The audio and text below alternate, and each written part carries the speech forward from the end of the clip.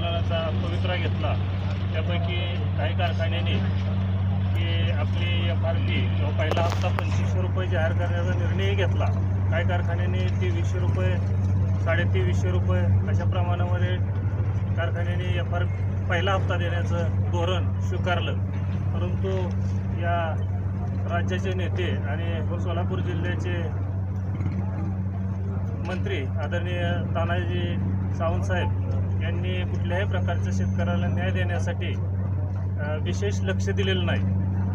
जणू एकेकाळी काही गर्जना केली होती सावंतसाहेबांनी की महाराष्ट्र भिकारी करेन पण मी भिकारी होणार नाही. साहेब आमच्या घामाचा दाम तरी तुम्ही द्या. अशा प्रकारचे मी एक शेतकरी आणि शेतकरी चळवळीतला व्यक्ती म्हणून तुमच्यापुढे हात करतोय. तुम्ही शेतकऱ्याला सर्वसामान्य शेतकऱ्याला संघटित झालेल्या शेतकऱ्याला न्याय देऊ शकत नसाल तर सर्वसामान्य शेतकऱ्या मी स्वतः अनेक वेळा एकटा येऊन आदरणीय चेअरमन साहेबाला किरण साहेबाला भेटलो. अनेकांसमोर विनवणी केली दोनशे सहासष्ट रुपयाची बिलं द्या. कांबळे साहेब असतील सगळ्या कर्मचाऱ्यांशी भेटलो पण देऊ देऊ आमचे मोठे साहेब निर्णय घेतात.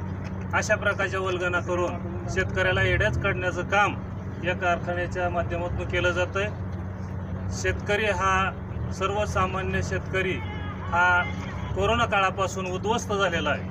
माझ्या गोरगरीब शेतकऱ्याला कुठंतरी न्याय भेटाव आणि त्यासाठी आम्ही जिल्ह्यातल्या अनेक कारखान्यावरती मोठ्या प्रमाणामध्ये आंदोलनं केली.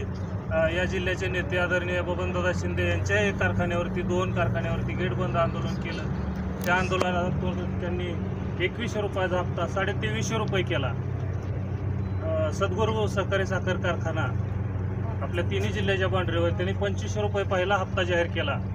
पण माझ्या मंत्रिमंडळामध्ये स्थान असणारे आरोग्यमंत्री आदरणीय तानाजी सावंत साहेब यांनाही परमेश्वराने बुद्धी द्यावी की मीही या जिल्ह्यामध्ये पंचवीसशे रुपयाचा दर देऊन आम्ही त्यांचा या करमाळा शहरामध्ये सोलापूरमध्ये ऊस संघर्ष समितीच्या वतीने त्यांचा जाहीर सत्कार करू. अशा प्रकारची मी त्यांना विनंती